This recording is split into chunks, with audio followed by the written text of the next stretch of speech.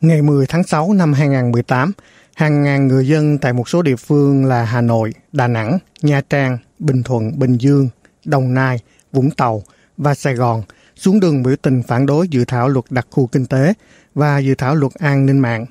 Những cuộc biểu tình rầm rộ đã khiến hàng trăm người bị bắt và có ít nhất 127 người đã bị kết án tù với các tội như gây rối trật tự công cộng, chống người thi hành công vụ.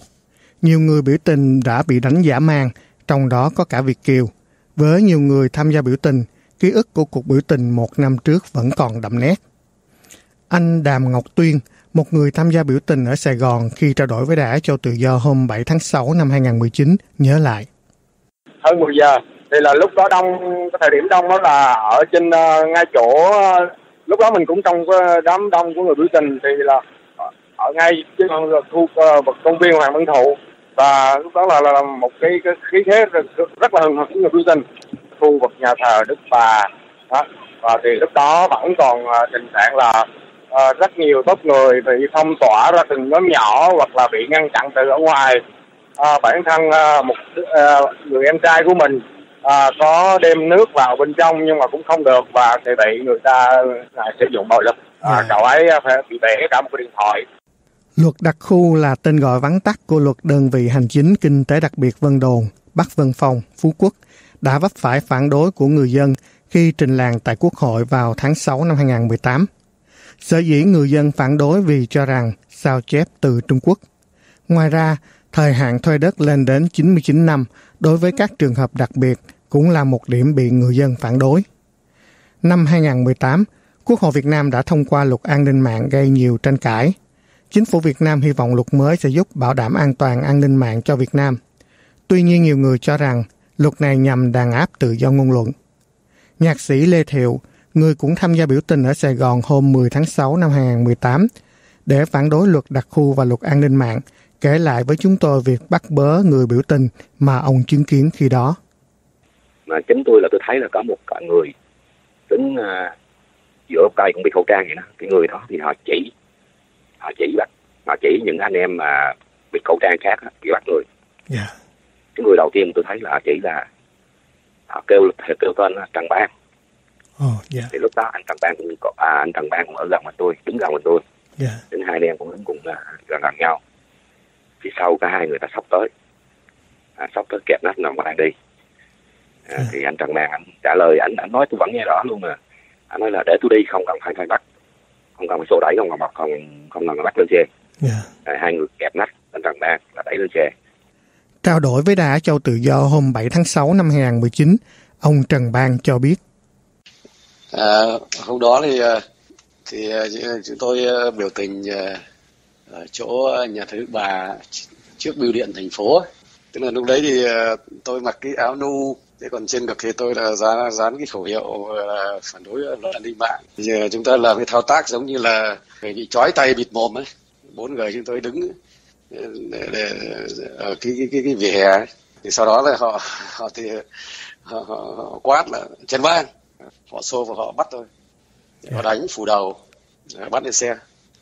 Và thì, ờ, và họ cũng đánh ờ, một người nữa cũng bắt lên xe. Và sau đó có hồng ly cũng ờ, bắt lên xe yeah. Dạ. thế thì chúng tôi đưa, về phường đà cao yeah. Dạ. người mệt thì mình nằm ra ghế ghế đang lim dim thì thì có một thằng thường phục nó vào đó đánh mình đánh đập vào tai đập vào đầu không những bị đánh ông Trần Bang cho biết công an phường Đa Cao còn cho hội cờ đỏ đóng vai dân vào đấu tố ông. Sau đó nó cho một cái uh, hội cờ đỏ vào đấu tố tức là khoảng năm sáu người tức là từ ngoài vào à, nó đóng là dân nó bảo chúng tôi là dân. Có đứa 20 tuổi và có đứa thì 40, 50, 30 nhưng mà tôi nhận ra là nó là nằm trong cái băng của cái thằng à, trọng nghĩa. Cái băng đấy nhưng hôm đấy không có thằng nghĩa. Và nó, nó đấu tố cha tân rồi rồi rồi nó đấu tố uh, dòng chung cái thế ở kỳ đồng ấy thế thì uh, tôi thì gần 60 tuổi mà nó cho những cái đứa 20 tuổi 30 tuổi vào đó mà mày đi nhận tiền nó giống như đấu tố đó mày đi nhận tiền 15 ngàn đấy thằng này là 15 ngàn một giờ nó ngồi đây là nó nhận tiền. Nó bị uh, nhân dân ờ, đánh rằng là nó chạy vào đây nó núp không có công an thì nó thì chúng ta xé xác này rồi. Hỗn hào láo tức là là nó đấu tố mình thế xong nó đổ nước vào mồm rồi nó vọc rồi nó xé khẩu hiệu trên ngực của mình rồi nó quay phim chụp hình nó livestream. Giống mình đã hình dung ra cái cải cách dụng đất đấy. Theo báo chí trong nước Khoảng 310 người bị bắt giữ tại thành phố Hồ Chí Minh sau cuộc biểu tình vào ngày 10 và 11 tháng 6 năm 2018. Ông Huỳnh Tấn Tuyên, một Phật tử thuộc Giáo hội Phật giáo Việt Nam Thống nhất ở Vũng Tàu, kể lại cho chúng tôi hôm 7 tháng 6 năm 2019 về việc ông bị đánh khi biểu tình ở Sài Gòn. Có cái nhóm an ninh nó, nó đặc biệt nó theo dõi tôi và nó thấy cái điều kiện tốt nhất là tôi ờ, hơi bị ờ, lẽ ra tụt lại đằng sau là nó hô lên là bắt thằng này. Tức là khi đó là chừng hai chục nhân viên ninh nó ngăn dòng người ra và bắt tôi yeah. và tôi là người gặp đầu tiên với cuộc biểu tình đó. Và nó đưa lên một uh, chiếc xe cũng ở gần đó thôi. Và khi tôi lên á thì uh, tôi bị là cái nhóm người uh, không phải là là mặc cảnh phục đang ở sẵn trên xe nó quấn tôi liền quấn bằng cây ba trắc nó đánh vào đầu gối của tôi một cây mà tôi ờ, nói chung là tôi cũng né được cho nên trúng phần mềm và tiếp đó và nó người kế tiếp họ quấn tôi gãy ra quánh gãy cái răng cửa mình rách xuống đó là máu nó đổ ra dữ lắm cho nên là cái sinh lực của tôi nó cũng mau mau xuống lắm Tại Hà Nội, theo ghi nhận của những người chứng kiến, có khoảng 150 đến 200 người tham gia biểu tình ở khu vực trung tâm thành phố. An ninh và công an cũng được huy động để đàn áp biểu tình theo các hình ảnh và video lan truyền trên mạng. Nhà hoạt động Trịnh Hiển khi trao đổi với Đài Á Châu Tự Do trước đây cho biết có nhất khoảng 10 người bị túm tóc lôi lên xe buýt ngay trước tượng đài vua Lý Thái Tổ.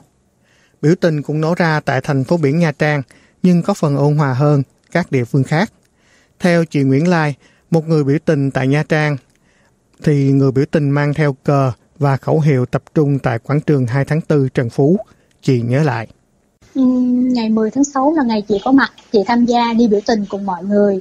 Là gần quảng trường thì lúc đó mình không ngờ, không ngờ là cái lượng người họ đi biểu tình rất là đông. Và không không nghĩ là lâu nay không nghĩ là dân Nha Trang họ hiền hòa như vậy họ không có mình cứ nghĩ họ không quan tâm tới tình hình đất nước. Nhưng mà khi mà đúng là khi nghe cái luật đặc khu um, nhà nước cho cho cho thuê đặc khu 99 năm thì đúng là đột đụng tới non sông đất nước thì mình mới hiểu được cái lòng dân ngay lúc đó thì uh, qua ngày hôm sau thì chị được biết rằng cái số người bị uh, bị bị bắt nhưng mà họ cũng tả ra thì là cái số những người đó là uh, họ uh, đi vô trong cái cái cái đường đồng bò họ yeah. Dạ. đốt xe và họ đánh du khách người Trung Quốc biểu tình chống hai dự luật đặc khu và an ninh mạng cũng nổ ra tại tỉnh Bình Thuận trong các ngày 10 và 11 tháng 6 năm 2018. Theo AFP, cơ quan chức năng Việt Nam bắt giữ ít nhất 100 người trong vụ biểu tình tại thị trấn Phan Rí Cửa, huyện Tuy Phong, tỉnh Bình Thuận. Những người biểu tình tại đây đã dùng bom xăng tự chế phóng hỏa, đốt một số trụ sở cơ quan nhà nước – cũng như ném gạch đá vào lực lượng cảnh sát cơ động, khiến hàng chục nhân viên công lực bị thương. Những ngày sau đó, khu vực Bình Thuận gần như bị cô lập khi công an an ninh tìm kiếm bắt bớ người biểu tình. Anh Đàm Ngọc Tuyên nhớ lại. Ngoài ở Sài Gòn ra thì là sau đó thì uh, cái uh, lúc ở Sài Gòn cách ba ngày sau thì mình uh, lại đến Phan Thiết. Tại vì lúc đó ở Phan Thiết và ở Phan Thiết là xảy ra tình trạng là đó là người dân bị đàn áp rất là dữ và mình cũng có đến ra tận ngoài nơi ngoài đó thì uh, thực sự là là là là nó không có diễn tả hết được cái cái cái, cái vấn đề mà chính quyền người ta sử dụng bạo lực à, và đe dọa người dân ở những cái uh, vực mà không thể diễn tả rất là khó diễn tả bởi tại vì là hầu như à, người dân người ta không có dám uh, nhắc đến cái từ biểu tình luôn một tuần sau đó vào ngày 17 tháng 6 năm 2018, nhiều nơi tại Việt Nam người dân tiếp tục kêu gọi nhau xuống đường biểu tình phản đối kế hoạch của chính phủ Hà Nội cho Trung Quốc đầu tư vào các đặc khu kinh tế. Tuy nhiên tại Sài Gòn khi đó, được cho là giống như ban bố tình trạng khẩn cấp khi có khủng bố. Cuộc biểu tình bị ngăn chặn ngay từ đầu, nhiều người bị bắt và bị đánh. Cô Nguyễn Ngọc Lụa, người bị bắt đưa về trụ sở công an phường Bến Nghé hôm 17 tháng 6, trong một lần trả lời đã cho Tự Do cho biết chúng tôi xin được đọc nguyên văn. Những người bị đưa vào, trên mặt họ đều có máu.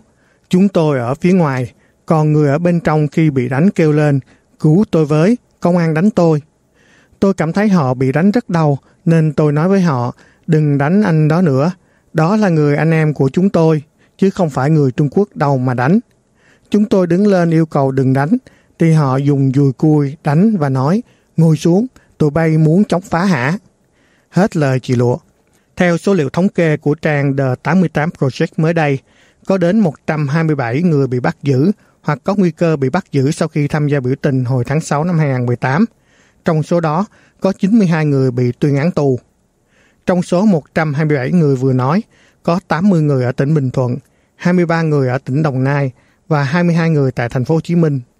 Do không có phương tiện truyền thông độc lập ở Việt Nam, nhiều khả năng con số người đang ở tù hoặc bị quấy rối do tham gia vào các cuộc biểu tình còn cao hơn con số thống kê.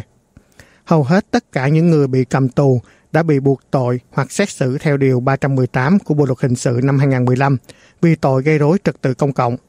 Nhiều người đã bị xét xử mà không có luật sư, và hầu hết tất cả đã bị xét xử trong một ngày với 10 hoặc 15 tù nhân khác. Trang Asia Times cho rằng cuộc biểu tình tháng 6 năm 2018, ngoài việc phản đối Trung Quốc, còn thể hiện những vấn đề về dân chủ và nhân quyền. Rõ ràng đang ngày càng có nhiều người Việt Nam đặt nghi vấn về tính chính danh của đảng Cộng sản cầm quyền.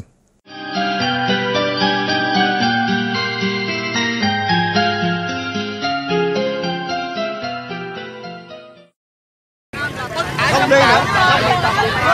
Ờ. Dân phòng Việt Nam hậu quân là có những ngày qua hướng đồng biển Tân đi sát đường Hướng đồng biển Tân đi sát đường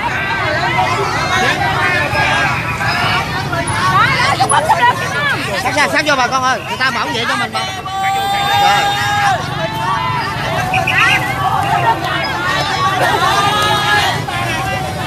Không bỏ lỡ những video hấp dẫn đó dân thành phố đây ủng hộ nè. Ủa vậy đó thấy. Bộ kiếm đen ra giùm anh cái mày muốn người thấy Đã quy ước là phải. Thôi mấy tiếng đi. Chúng tôi yêu cầu mọi người hãy giải tán ra về. Không hiếu kỳ tụ tập đông người. Không để bị lôi kéo, lợi dụng. Ảnh hưởng xấu đến an ninh và trật tự Hay quá. Hộ pháp. À. Anh em ơi trong giải tán để giữ gìn an ninh trật tự chung. Không xuất quân, không đặt khu, không hiếu kỳ tụ tập đông người, hoàng sa, hoàng sa, hoàng sa, đã là Trung Quốc xâm lược, đã là Trung Quốc xâm lược, đã đâu, đã là Trung Quốc xâm lược, đã đâu, em đâu có tự đi ra, em đâu Trung Quốc, không đặt khu, chiến